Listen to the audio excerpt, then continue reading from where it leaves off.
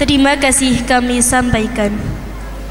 Hadirin yang berbahagia, rangkaian acara selanjutnya mari kita saksikan bersama penampilan seni pencak silat Pagar Nusa Madrasah Miftahul Huda.